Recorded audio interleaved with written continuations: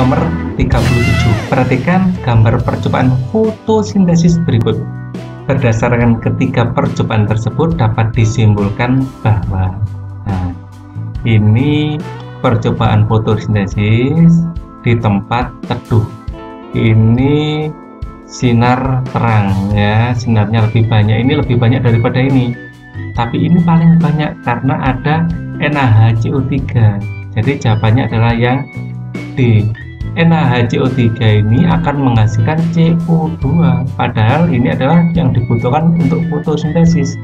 Jadi untuk fotosintesis bahan adalah gas CO2 semakin banyak CO2 semakin baik. Ya. Terus ada air. Ini harus ada ya secukupnya. Dan harus ada sinar matahari matahari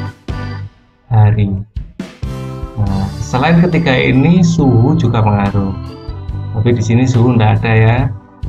Jadi asal ada CO2 H2O dan sinar matahari tentu saja ada tumbuhannya maka akan terjadi fotosintesis. Jawabannya yang paling cocok adalah D. Ini adalah pembahasan 37